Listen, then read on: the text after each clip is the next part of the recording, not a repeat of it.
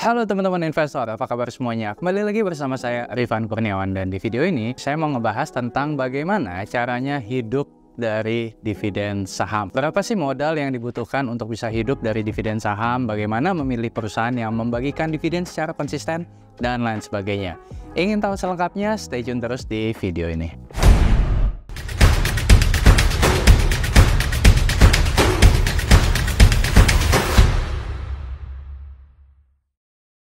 Oke, nah jadi di video ini saya mau membahas ya persiapan kalau misalkan teman-teman ingin hidup dari dividen saham. Saya pun juga termasuk orang yang beruntung karena sejak tahun 2016 lalu semua pengeluaran saya baik untuk pengeluaran rumah tangga, traveling dan pengeluaran lainnya bisa di cover dari dividen saham. Nah, pertanyaannya adalah berapa sih modal yang dibutuhkan untuk hidup dari dividen? Untuk menghitung berapa modal yang dibutuhkan untuk bisa hidup dari dividen, cara yang paling umum dan sederhana digunakan adalah dengan menghitung pengeluaran bulanan dikali 300. Loh, kenapa harus dikali 300, Korifan? Ini saya jelasin ya.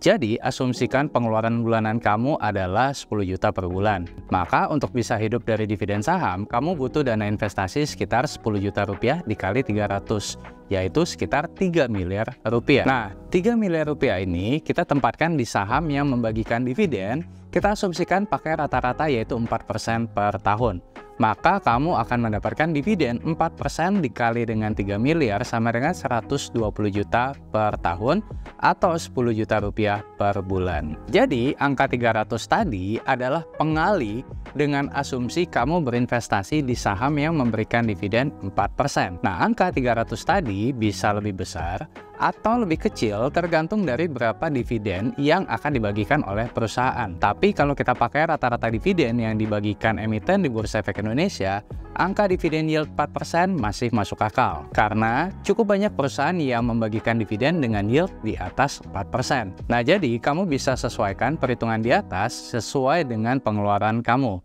mengacu pada tabel berikut ini ya. Nah, jadi kalau misalkan pengeluaran rumah tangga kamu lebih besar nih, misalkan 20 juta per bulan, maka kamu butuh dana investasi sekitar 6 miliar rupiah.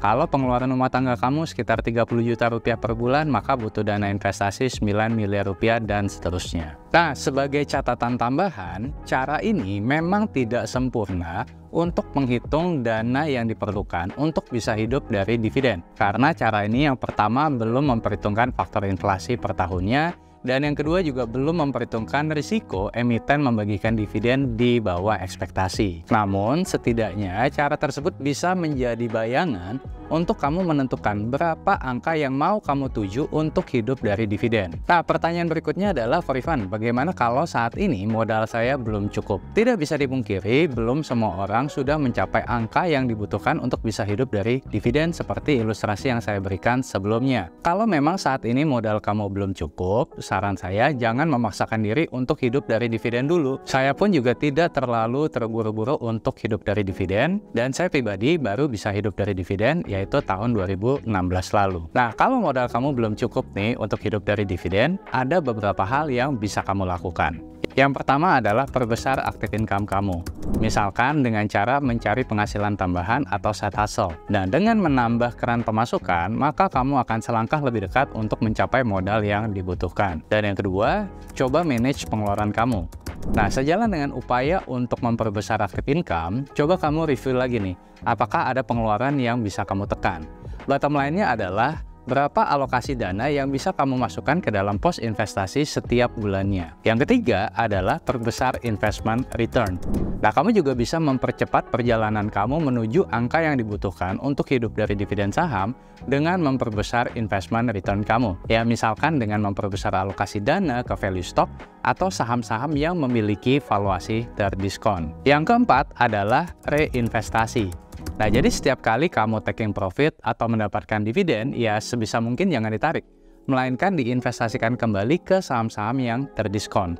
Jadi ibaratnya bola salju, makin lama dana investasi kamu akan semakin besar. Dengan beberapa cara tersebut, mudah-mudahan kamu bisa lebih cepat mencapai angka yang dibutuhkan untuk bisa hidup dari dividen. Nah, pertanyaan berikutnya adalah Korifan, bagaimana cara mencari dividen stok? Nah, kalau tadi kita sudah bahas mengenai angka yang dibutuhkan untuk bisa hidup dari dividen dan juga apa yang harus dilakukan apabila kita belum mencapai angka tersebut, selain selanjutnya saya mau share bagaimana cara mencari dividen stock.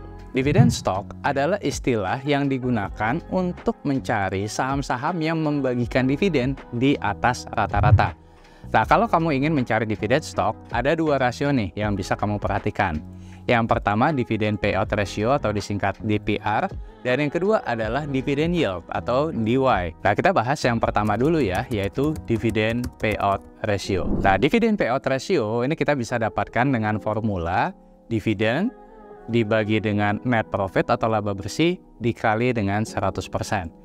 Nah, jadi dividen payout ratio ini adalah rasio yang membandingkan besarnya dividen yang dibagikan perusahaan dengan laba bersih yang diperoleh perusahaan. Misal, dividen yang dibagikan adalah 50 miliar rupiah, sementara laba bersih perusahaan adalah 100 miliar rupiah.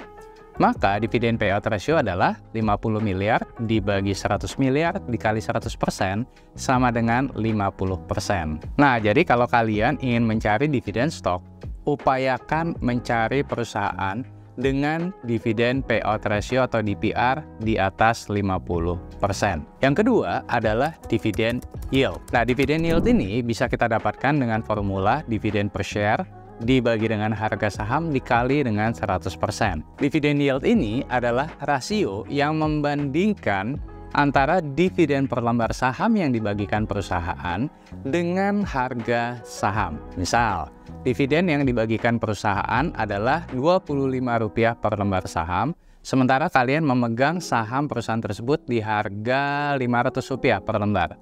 Maka dividen yieldnya adalah Rp25 dibagi Rp500 dikali 100% sama dengan 5%. Kalau kalian ingin mencari dividen stok, upayakan mencari perusahaan dengan dividen yield di atas 4 Nah, supaya lebih jelas, kita langsung coba aja ya, hitung dividen payout ratio dan dividen yield dengan studi kasus. Misalkan, di sini saya gunakan adalah ADMF atau PT Adira Dinamika Multifinance sebagai contoh kasus. Anyway, ini bukan rekomendasi saham ya, tapi ini adalah contoh kasus. Jadi kalian tetap perlu untuk melakukan research sebelum memutuskan untuk investasi. Nah, ADMF ini di tahun 2022 kemarin membukukan laba bersih 1,6 triliun rupiah. Dan di tahun 2023 ini ADMF membagikan dividen sebesar sebesar 803 miliar rupiah untuk kinerja tahun buku 2022. Artinya, dividen payout ratio ADMF untuk tahun buku 2022 adalah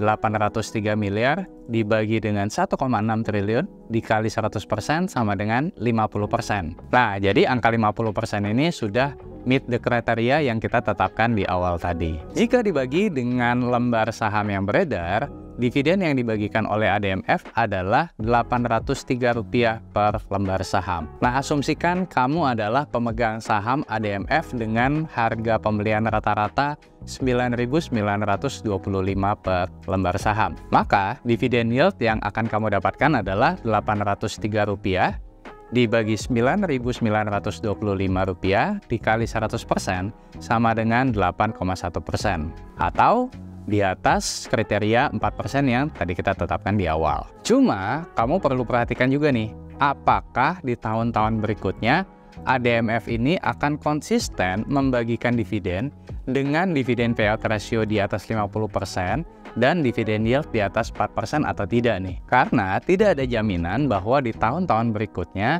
perusahaan akan membagikan dividen yang sama dengan tahun ini. Nah, oleh karena itu, alangkah baiknya kamu coba periksa historical dividend setidaknya tiga tahun ke belakang. Karena ada juga nih perusahaan yang membagikan dividen besar di tahun ini, tapi di tahun-tahun sebelumnya dividennya tidak sebesar itu.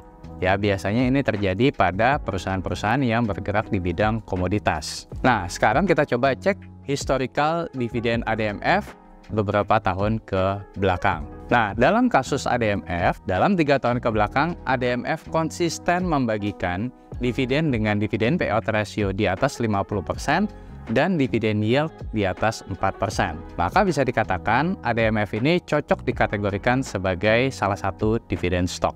Oke, itu tadi pembahasan tentang bagaimana kita mempersiapkan hidup dari dividen saham. Nah, tadi kita sudah membahas nih, ya berapa modal yang dibutuhkan supaya kita bisa hidup dari dividen, apa yang harus dilakukan kalau saat ini modal kita belum cukup, bagaimana mencari dividen stok beserta contohnya dan lain sebagainya. Nah, jadi sebenarnya hidup dari dividen bukan hal yang mustahil untuk diwujudkan. Dengan catatan, belilah saham yang berfundamental sehat agar ke depannya perusahaan bisa terus konsisten membagikan dividen kepada para pemegang saham. Nah, kalian sendiri gimana nih setelah menonton video ini jadi pesimis atau malah justru jadi optimis nih? Suatu saat nanti saya bisa hidup dari dividen. Coba share di kolom komentar.